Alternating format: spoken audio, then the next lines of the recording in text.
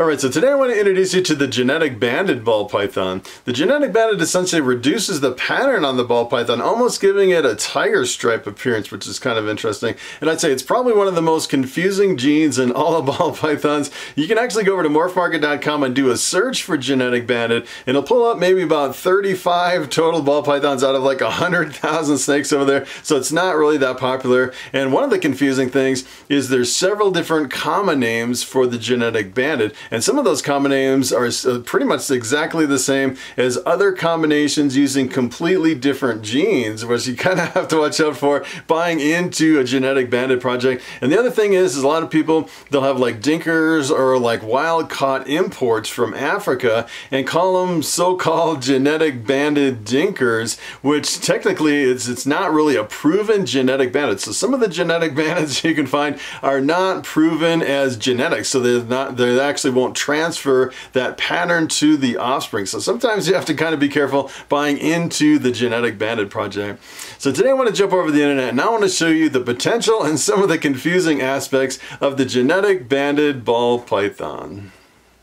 Alright, so I'm to jump over here at morphmarket.com and I want to start with this snake right here. This is a genetic banded ball python. And the genetic banded essentially is a pattern mutation. You can definitely see in this one it gives you almost like tiger stripes on the side of the ball python. I've actually seen some over here that have tiger stripes pretty much from head to tail all the way up and down the snake. And this one it looks like there's just tiger stripes on one part. If you actually look at the color on this one, you can definitely tell it almost has like a normal looking color, like the normal classic wild type ball python python. So it's not really a color enhancing gene. It really just changes and alters the pattern. And there's quite a few other pattern enhancing genes in ball pythons. There's the enchi, which you may have heard. As a matter of fact, there's a lot of enchis that kind of give you this tiger stripe appearance. But if you actually compare a lot of enchis pretty much side by side with the genetic banded, the genetic banded a lot of times will have thinner stripes uh, compared to the enchi. And a lot of times the stripes will be a little bit further apart than you'd see in a lot of your kind of a tiger striped enchi combination.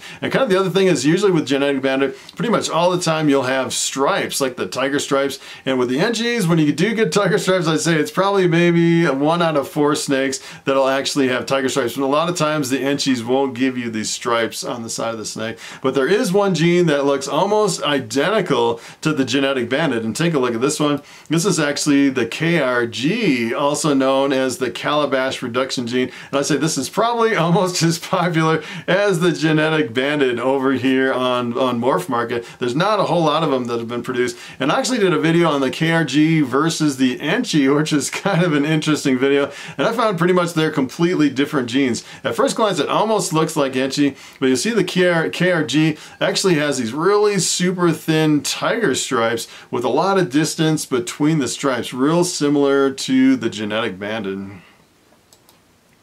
So take a look at this. I kind of wanted to compare a couple combinations, the genetic banded directly compared to the KRG. I found I found just a couple examples over here. Let me tell you, with something like the KRG or the genetic banded, there's not a whole lot of examples, so it's really hard to compare them side by side. It's hard to know exactly what's going on unless you produce like hundreds and hundreds of them. There's just like a couple dozen over here. So I'm kind of, you know, sometimes you kind of grasp at straws on some of these new projects. But I kind of wanted to show you this one. This is actually the the supergenetic banded fire, which is an interesting combination. If you actually look at the genes on this one, this is the supergenetic banded, indicating that it's a co-dominant, and you can actually have two copies of the genetic banded. That's kind of the, the technical lingo that we use over here in Morph Market. If you actually take a look at this one, it looks like pretty much the same color as a fire, with kind of almost like this spider web, almost like a blocky spider web kind of a pattern. And take a look at this snake and compare it to this one. This is the Fire KRG. Almost looks, almost looks like exactly the same snake, which is pretty amazing. Kind of has the same kind of a fire color with kind of this blocky spiderweb pattern right down the top of the snake, which is pretty amazing. So take a look at this one. This is actually an albino super banded. So this is where it gets a little bit confusing. This one's listed as a super banded, but if you actually come over here and take a look at the genes, it actually just has one copy of the genetic banded gene. And the more I look over here in MorphMarket, it seems like a lot of people are calling the genetic banded the super banded, which is pretty interesting, pretty interesting and pretty confusing. So the other one was actually listed as the super genetic banded. So was that really two copies of the gene or was it really just one and someone was naming it the genetic banded. So that's kind of up in the air if, you know, if this is really, you know, it has a super form. And if kind of from this one over here, you actually look at the super genetic banded fire, it looks like there is a super form, but it can be kind of confusing. It's, it's, it's really confusing comparing it to the KRG with almost the identical appearance with the super genetic banded compared to one copy of the KRG. So it gets a little bit gray, a little bit fuzzy with all the kind of the lines between the different versions of kind of what's going on. So I kind of want to show you a couple of examples where we can actually mix the, the genetic banded into some combinations. There's not a whole lot to choose from over here in MorphMarket. And I want to show you this one, the pastel vanilla, because I actually found one over here with the pastel vanilla and genetic banded. So you can kind of see the influence of the genetic banded on the combination. And it gets a little bit tricky in some of these combinations because if you take a look at this one, it almost looks like it's banded right from the start. It almost has these, these bands coming right down, but you almost can tell it's almost like alien alien head looking kind of a pattern on here. And essentially the pastel brings in a lot of the yellow in the combination. And then the vanilla is essentially is similar to fire in a lot of combinations where it'll bring out a lot of the brightness and enhance a lot of the combinations as far as the brightening. And a lot of times with the vanilla and the you work it in with pastel, it'll actually really wipe out the head on this combination. So here's what happens if you take the pastel vanilla and you work it into the genetic banded. Take a look at this. This is kind of interesting interesting. Essentially what this is, is you can definitely tell the genetic banded kind of separates all the patterns. And sometimes it's hard looking at different breeders and different lines of different snakes. Sometimes the pastels can really vary. I've actually seen some pastels that are pretty banded too. So sometimes if you actually, you know, you're comparing these side by side, so it's, it's sometimes it's kind of a stretch to actually compare. But you can definitely tell in this one, it almost seems like it has tiger stripes from the genetic banded. And it seems like there's quite a bit of distance between the tiger stripes. So I'm definitely thinking that you can see an influence in this combination. So take a look at this. This is another example where someone actually listed super banded with just one copy of the genetic banded. And this is kind of an interesting example. This is the super banded yellow. This is the super banded belly. So this has yellow belly and genetic banded in the mix. And you can definitely tell you have tiger stripes on this one and it's not quite as separated as you see on a lot of other examples. And I think it's maybe the yellow belly influence bring, kind of bringing some of the bands together. But that is pretty amazing amazing. It almost looks like a tiger in this example. That is kind of crazy. if you actually look at the price on this project, this is only like 325 so it's not really that high end of a project. As a matter of fact, I actually saw some super bandeds over here. They're like under a $100, which is kind of crazy.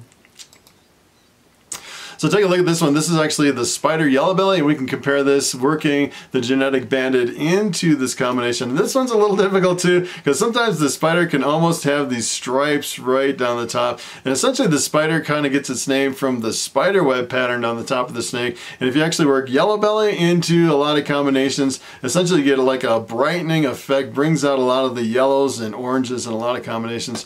So here's what happens if you take the spider yellow belly and work in the genetic band did. Take a look at this. This is kind of interesting. You can definitely see the tiger stripes coming in on this snake. You can definitely see, uh, I'd say, well, as a matter of fact, I actually saw some spiders over here that were pretty close, just standalone spiders, uh, I'd say, but you know, sometimes you can get a, a spider every now and then that has kind of this tiger pattern to it, but in every single case that I've noticed over here, when you're mixing spider with the genetic banded, you get some really strong tiger stripes in your combinations. So speaking of tigers, take a look at this. This is where it gets really even more confusing. This is actually an albino pied tiger, which is, if you actually look at the genes on this one, this is the albino and pied, both recessive genes, and they're calling the genetic banded the tiger, which is another slang for the genetic banded. And it gets pretty confusing with all the different genetic bandeds and the, and the slang names, the tiger, and if there's really a super, and you're calling you know, one copy of the genes the supers, it's, let me tell you, it's one of the most confusing projects over here in ball pythons. I actually pulled up this other one. Take a look at this. This is uh, actually listed as a genetic tiger, which is a pretty interesting name for this particular example. If you actually take a look at this, it almost looks like a genetic stripe, which is which is kind of interesting if you actually look down here. This is the genetic tiger M and S line. So pretty much what I'm thinking, what may be going on with the the, the genetic banded is, is kind of the genetic banded. Fact, let me let me show you this snake first. Take a look at this. This is a genetic banded type dinker, which is, is essentially what it is. This is like a normal type ball python with kind of a genetic banded type pattern on the side of these. So you actually see some dinkers and some African imports that are listed over here as genetic banded. If you actually take a look, people are listing them as genetic banded. So what I'm thinking is really going on is I think genetic banded is kind of like we see some genetic banded type pattern on some of these ball pythons. So sometimes we're not 100% sure if it's actually genetic banded or if it just has that pattern in it. And I think what a lot of people are doing is they're taking these genetic bandeds, which sometimes they're not proven to be genetic, and then they breed them out and then they prove them out. And sometimes you can prove them out to be different than everything else, and then they kind of spin them out into like the KRGs, the kalabash reduction gene. I think that is another version of the genetic banded. I think a lot of them kind of get all clumped together as genetic banded, and then they get spun out into these other lines, which is kind of interesting. So I wanted to show you one more here at the end. This is kind of another point of confusion when it comes to genetic banded. The genetic banded sometimes is referred to as the tiger, but there's also another tiger which is confusing. This particular tiger consists of two genes, the Enchi and the desert. And the desert is one gene you might want to stay away from. As a matter of fact, there's only a few, I'd say probably about a dozen deserts over here on uh, Morph And the problem with the deserts is they used to be really popular when they first came out and they quickly quickly found out that the desert had a problem with the fertility of the females. The females, essentially when they lay eggs, they lay all infertile eggs. And I've actually heard a lot of times when the females lay eggs, they'll actually die, which is a really big problem with the desert. And usually the deserts over here, the only ones you'll really find a lot of times are the males. And if you actually do find a female desert, a lot of times they'll sell it as a pet quality only. If you buy a female desert, let me tell you, you do not want to breed your female desert to anything else. It's pretty much just a pet. So the, uh, it gets a little bit confusing because this is actually the tiger, which is the Enchi in the desert. Also, the, pretty much the same name as the genetic banded. And then it also gets a little bit more confusing because the desert is similar to the desert ghost, which is a really awesome gene. The desert ghost is, is probably one of the most underrated genes in all of ball pythons. It's a pretty amazing gene. As a matter of fact, I'm working quite a bit with the desert ghost. And a lot of people ask me, hey, that's a desert ghost. Is, it, is there a problem with the females? And it's like, no, that is completely separate for the desert. It gets pretty confusing between all the different lingo and all the different common names. All right, so it is time for the question of the day.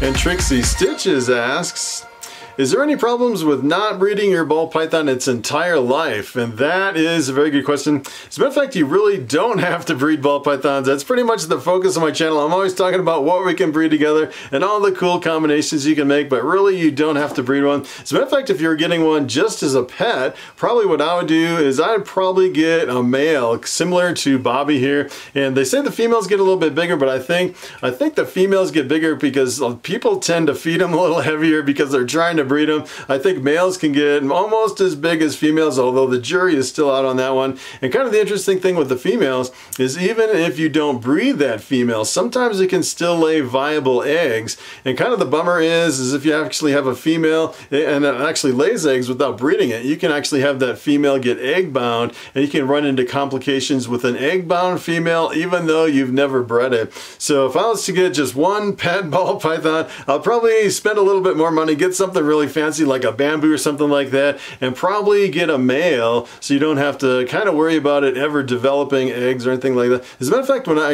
I take my ultrasound and I look inside of the females before the breeding season, almost all the time I'll see little immature follicles in those females that don't develop, which is kind of interesting. So it almost seems like there's always little immature eggs in the females. Sometimes they can develop through parthenogenesis, which is kind of an interesting anomaly in ball pythons. I'd probably stick with the male and you definitely do not have to breed your ball python. So that is pretty much it. Thanks for watching and I will see you in the next video.